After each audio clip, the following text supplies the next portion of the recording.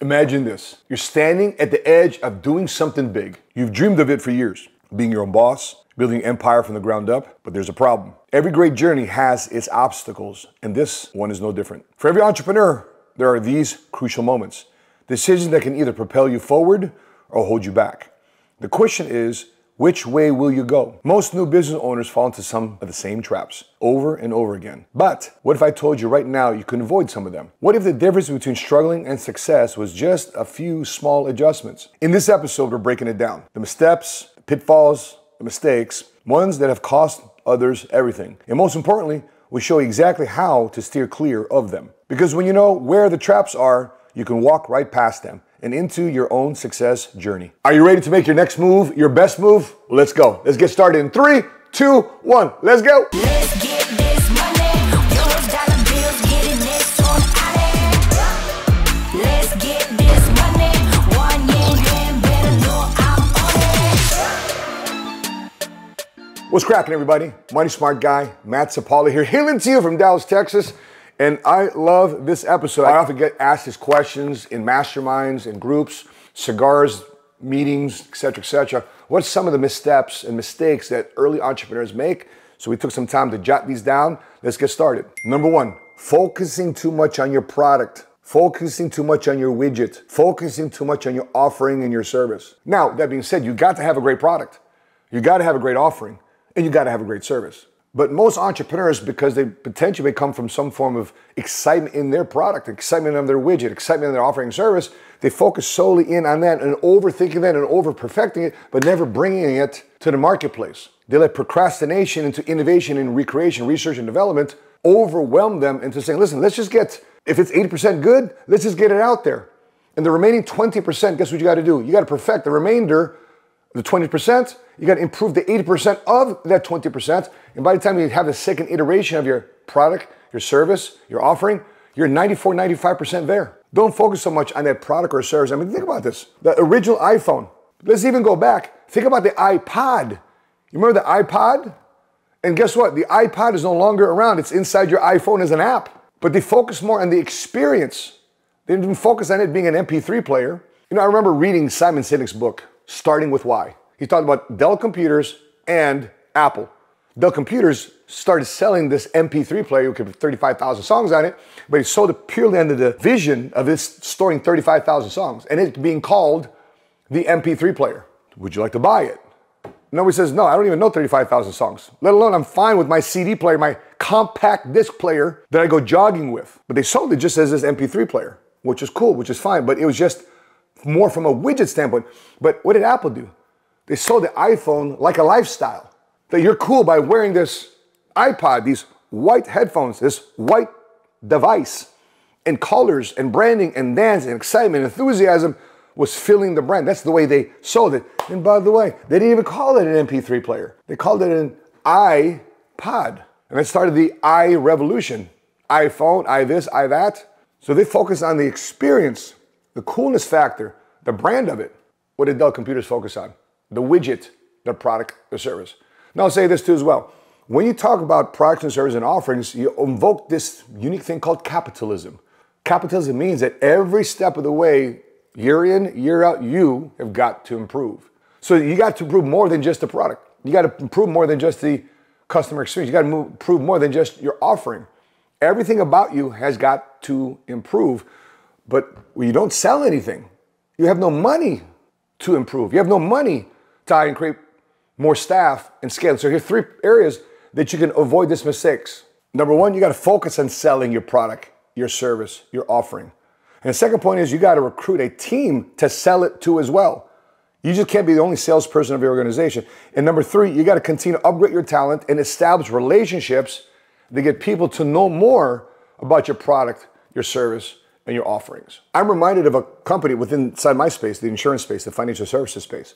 I have got respect. I'm not going to mention their name, but I'm pretty sure many of you are watching this video who follow my content who's also in the insurance and financial service space. You know exactly what I'm talking about.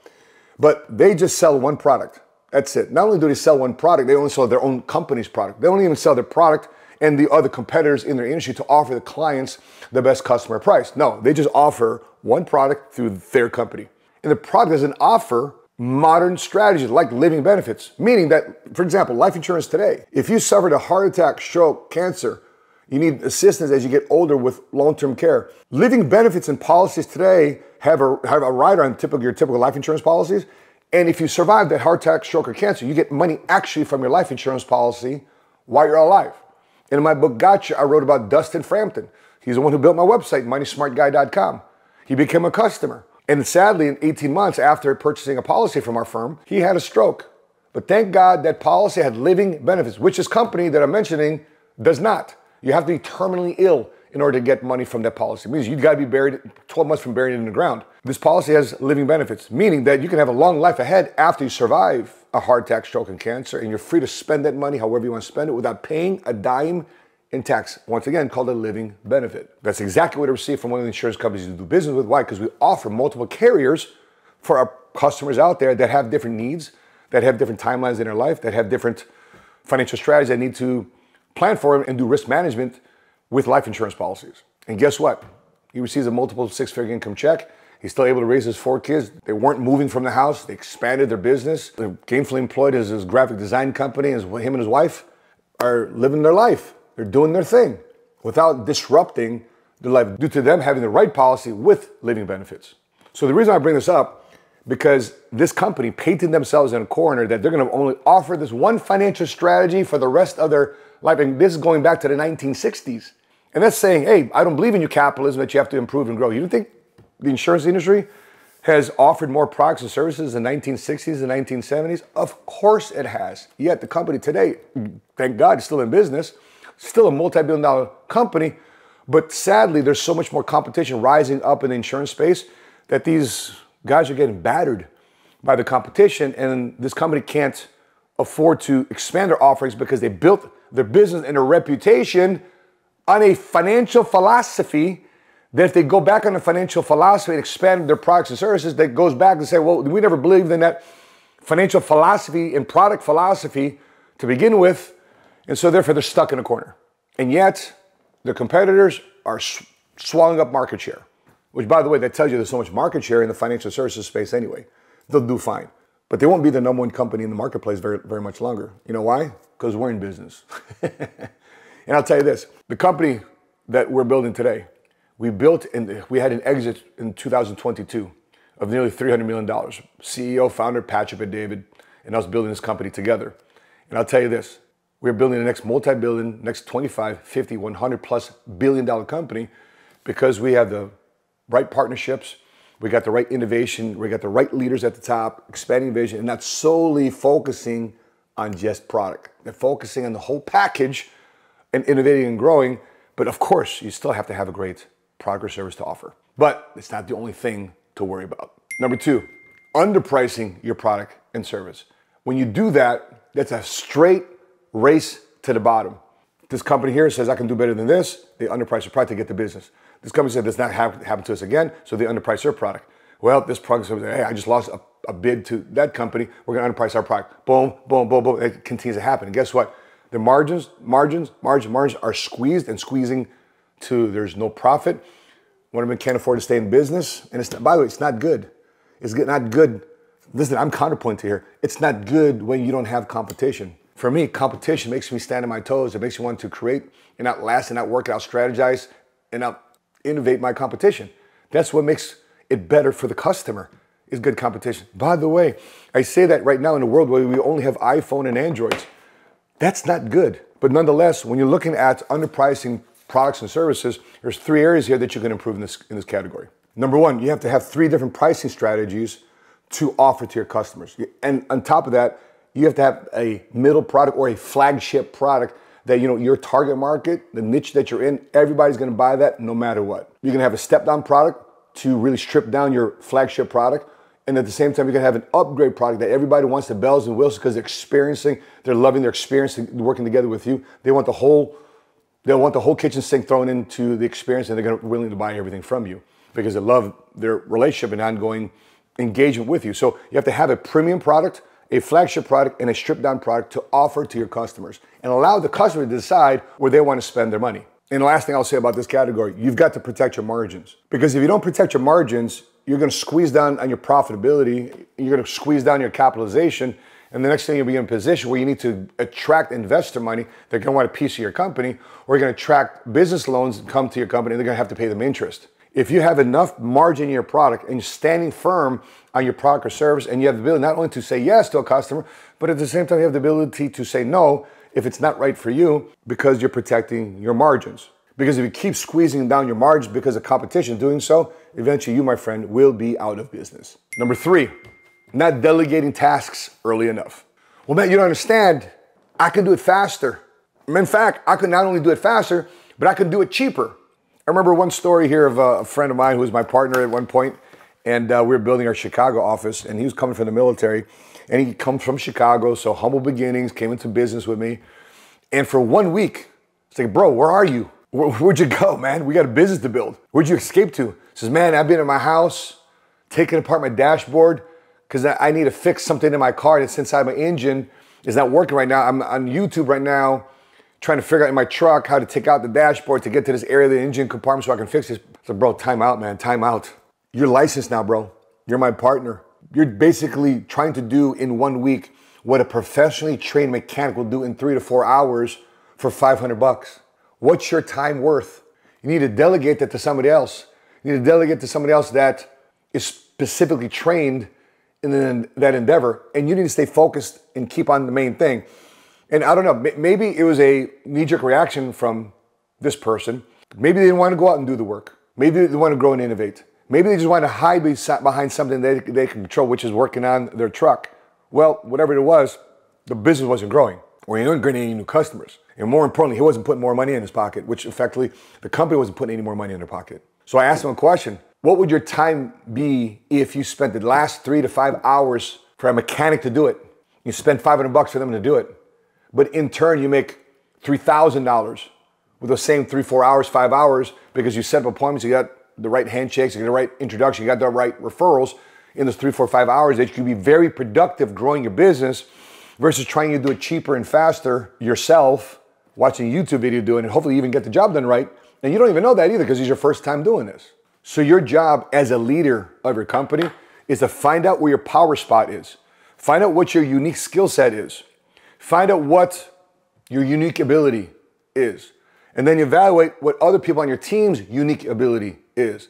And guess what your job now is to make sure that you assign tasks and roles and responsibilities to everybody's unique ability. Then you create what we call a unique ability team, meaning that everybody comes to work now, they're fired up and excited. Why? Because they're operating and working in their unique ability. And they're not working on tasks and responsibilities that don't give them energy. Think about this. What do you focus in on? What are you excited about when you go to your office? Boom. I'm excited about doing this. I'm excited about doing it. Awesome. Everything else you need to create a job for because it robs you of your passion, it robs you of your energy, it robs you of your enthusiasm. But yet, the irony is, it gives somebody else excitement, passion, enthusiasm. That person you need to hire to create and do those jobs. So instead of worrying about you trying to save a buck, you need to focus on creating revenue so therefore you can create jobs. Number four, lack of cash flow management. Listen, if there's a lifeblood into your business, it sure for sure is going to be cash. You need money to do what you want to do. Your business needs money for you to expand and grow. You have a stewardship responsibility to handle your investors' money, the people that believed in you using their money. You have a stewardship responsibility for the money potentially you may have borrowed from your credit card or business line of credit. You have a responsibility that you owe other people if you took money from them to make the most out of your business. And what stings a lot of business owners is their lack of cash flow management. I remind of a business plan competition that I was a judge at in Chicago. And on behalf of Miller Coors, we're, uh, we're awarding $250,000 to fund and finance a minority owned business. And when the question we asked one of the entrepreneurs who's raising capital for his company, because he's got his business set up in a, in a university, he's doing his research and development at a university's facility, which is fine. And one question we asked him, okay, if we give you this money, if we give you 50 grand, we give you 100 grand, we give you $250,000, what would you do with that money? Where would you spend it? Who's your first phone call? And we found out right away that the financing, the funding of our seed capital, if he was going to award, if he was going to be awarded the money, would be funding his lifestyle, would be funding his apartment, would be funding his car payment, would be funding his bills. It wasn't financing what? The business. So his lack of understanding what an entrepreneur does, he didn't get funding from us. And guess what? Because he didn't manage his finances properly and show us that he was going to be a wise steward of our capital, we didn't give him money. Why? Because he didn't learn number one, how to make his product serviceable and saleable and scalable. And number two, for the margins he would earn, he didn't know how to bring that money back into the company, to capitalize the company, reinvest that money back into the company, to improve his product and service, simultaneously selling more of his current product and services before 2.0 version of his product comes out.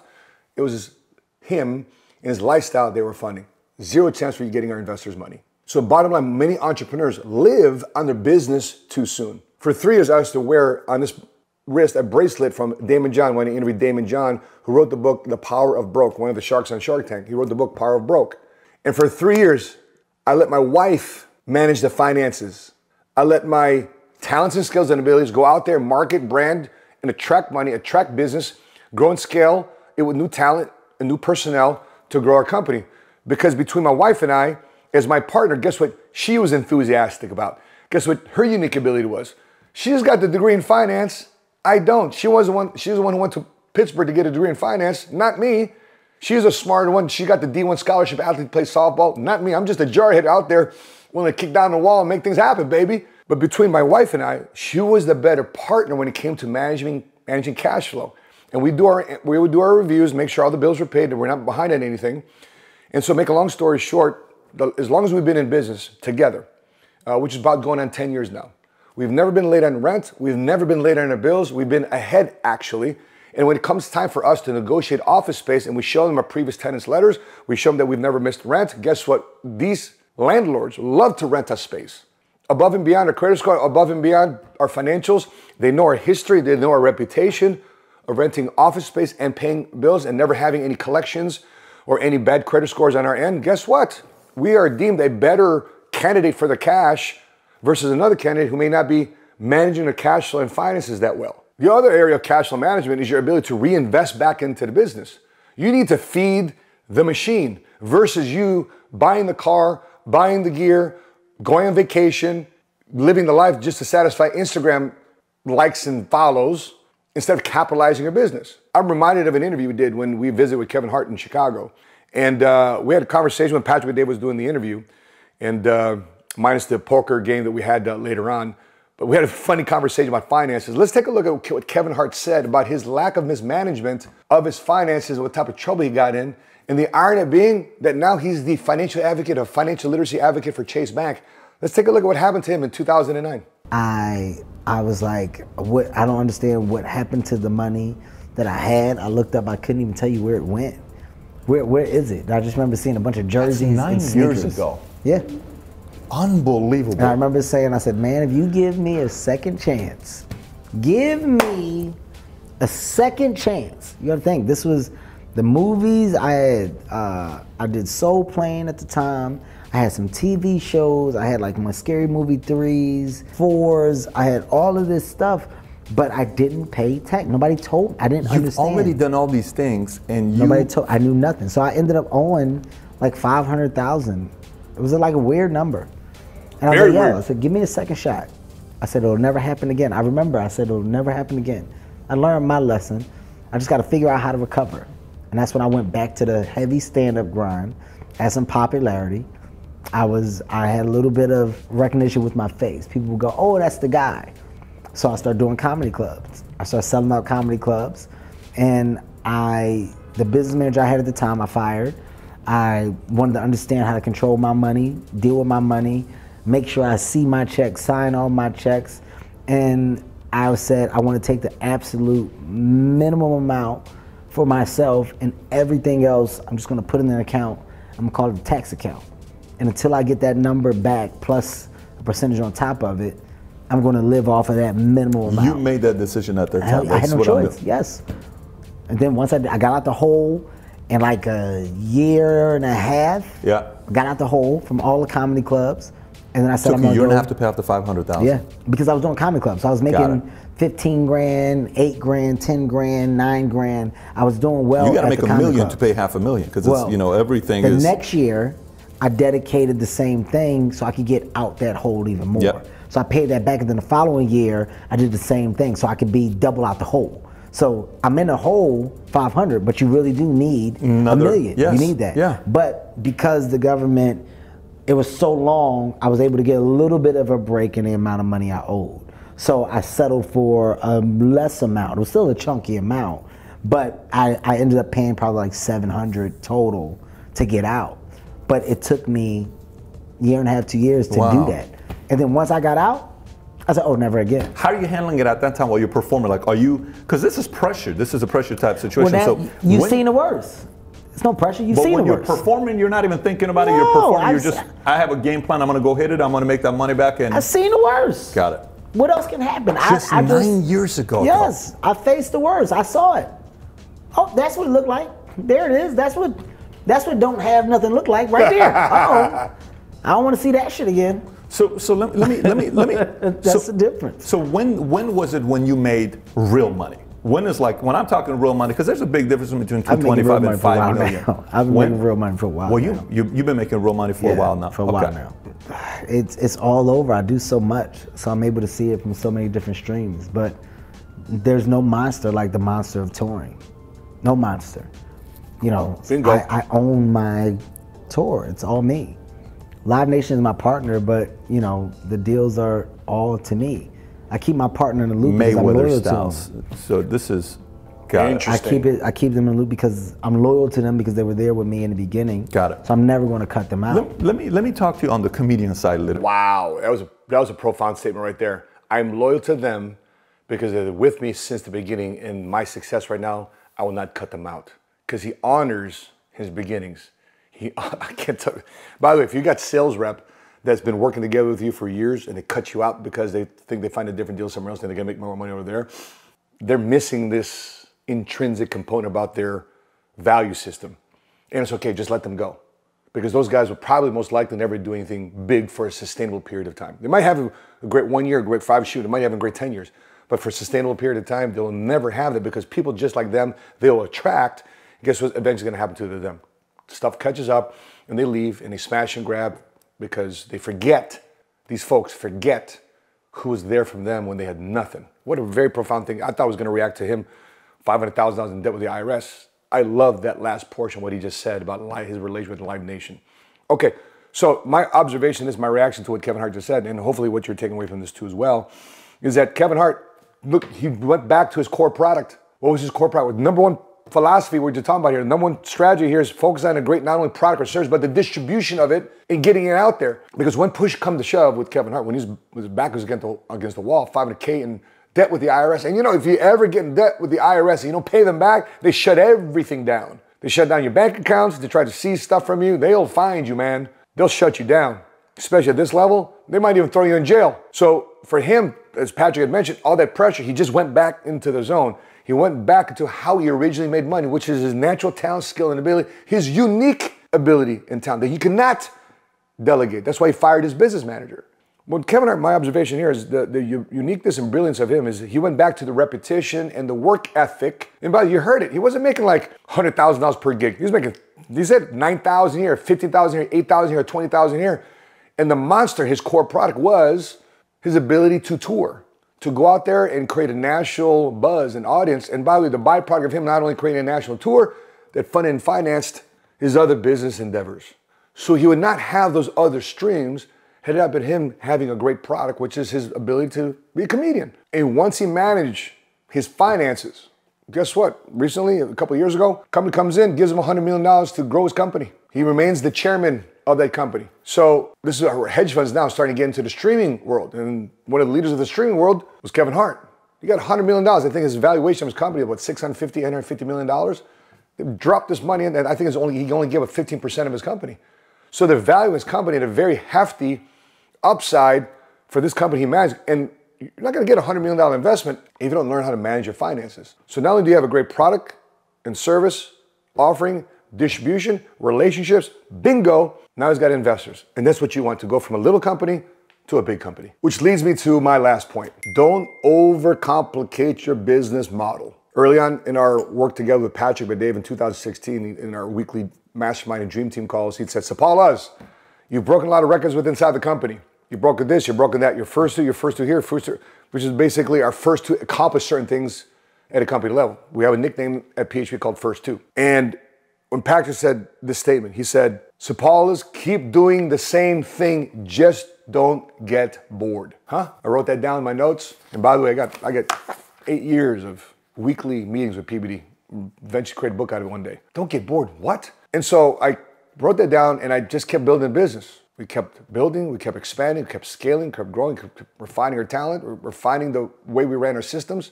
We just got better, we got richer, we expanded, we started building wealth, we started helping create others build wealth. I asked him three years later, PBD, what did you mean back in 2016 when you said don't get bored? Because ain't nothing boring about what we're doing. What do you mean don't get bored? He goes, so that's exactly what I wanted to hear. See, most guys try to overcomplicate the business model because they got away from the fundamentals. So we never got away from the fundamentals. If my fundamental is to do one, two, three, A, B, C, X, Y, Z, that's gonna make me 100,000, that's gonna make me 250,000. Guess what? I should never depart from doing that. And guess what a lot of CEOs, guess a lot of guys do? They get away from that model of ABC, one, two, three. They get away from blocking, tallying, shooting, and passing. They get away from the fundamentals of the X's and O's of their business. And a lot of them think that by growing, innovating, and overcomplicating things, that they're more important to do those other things. Nah, bro. Your first thing you got to do, you got to do the fundamentals of the business that makes your company profitable. And when you're a profitable company, all you got to do now is scale that. Don't overcomplicate that. In fact, scale it by creating those SOPs, as standard operating procedures that allows you to delegate roles and responsibilities to duplicate yourself into multiple people locally, regionally, and nationally. In fact, if you come across our offices, any one of them, whether you're in Chicago, you're in Dallas, you're in Atlanta, you're in Memphis, you're in Orlando, you know, Washington, D.C. office, in the DMV, or Orlando office, in my Fort Lauderdale, Hollywood office, it's the same model. And guess what? I don't worry about on Tuesdays when, it, all of us are running our weekly workshops. You know what I worry about? I don't worry about what these guys are doing. You know why? Because we're simple. And so one of the biggest attractions why Oscar De La Hoya invested $10 million into a company in 2017 and why we had a $300 million, nearly a $300 million exit here in July 2022. And since then, we've nearly doubled the company post acquisition on our way to become a billion dollar company. And guess what we're not doing? Overcomplicating the business model.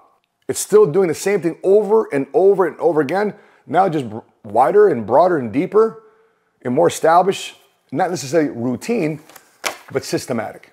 Many people add to their situations more problems in order for them to feel important. Don't make that mistake. Someone once told me, you make millions and billions with the boring and the mundane. But yet the fundamental, the mundane, the boring, if it's systematic and profitable, it'll lead you to a different level of the promised land that you've never experienced before. For example, Amazon. Remember Amazon? Well, they started in 1994. And guess what they focused solely in on? For four years straight, they focused on selling books online, taking over where they even got a lawsuit from Barnes & Noble saying, we're the largest, world's biggest bookseller. Barnes & Noble said, no, you're not. You're just a book broker. they went back and forth, back and forth. Barnes & Noble was very competitive. And guess what? Who's the biggest bookseller now? It's not Barnes & Noble. It's not Borders. Remember them? It's Amazon. But for four years, they focused on one product to sell online delivered to the customer. It was only until they went public and after IPO, and they acquired an online catalog, they acquired other things. Now they're offering more things to more people through a model that they've established for four years. Now they start offering more things because now they got more customers they established over a four or five year period. In fact, they told investors don't expect a profit from Amazon for 45 years. So they manage expectations up front. And today, what happens if you invested in Amazon back in the 1990s? where would your portfolio be today? I mean, look at my Starbucks cup. I'm drinking right now Starbucks, and guess what's in the front? We went to the original Pike Place location in Seattle, where the original Starbucks store is located. And we got this coffee cup. And by the way, Starbucks, when were they created? 1971? 1971, how much has his logo changed? Howard Schultz buys this uh, company in 1987. How much did he change the Starbucks logo? But what changed? Sales, distribution. And today, there's over 38,000 Starbucks across the world, of which Starbucks, there's over 16,000 only in the USA. There's more Starbucks across the world, scattered all over the globe, than it is in America. But guess what didn't change much? The logo. So they focused in on not just the fundamentals, the mundane, they focused on distribution because they had the fundamentals down packed. So what company you want to be? You want to be an overly specialized company but you're not scaling, you're not growing, you're too narrow, you don't have much latitude, you don't have much bandwidth? or you want to scale and create distribution, at this point, you should have an idea of what you're looking to accomplish. If you're not clear about what you're looking to accomplish, there's companies like us that can help you blast through those barriers. And who knows, maybe a conversation with us, have a conversation on Minnect with us, reach out to me. On Minnect, we'll put our link right here. You'll have a question, 25 bucks, you get an answer. Or if you want to set up a video conference, 15 minutes, you can do that too as well. There's many different ways for you and I to connect online, so therefore there's valuable exchange for you. It's meaningful time for me spent with you to get you to the next level. Let's get you there to avoid these mistakes that new entrepreneurs make, so therefore you can get ahead in your business plan much sooner and faster, especially closing off the rest of the year and getting a head start in the year. That being said, what is your biggest takeaway? Please put it in the comment section below. Was it number one? Was it number two? Number three? You know my favorite one was? Number five. Don't get bored doing the fundamentals. That being said, make sure you subscribe, hit like, and appreciate you tuning into the Seven Figure Squad YouTube channel. We meet again, continue to live smart, continue to love smart, and be money smart today. God bless you. Bye bye.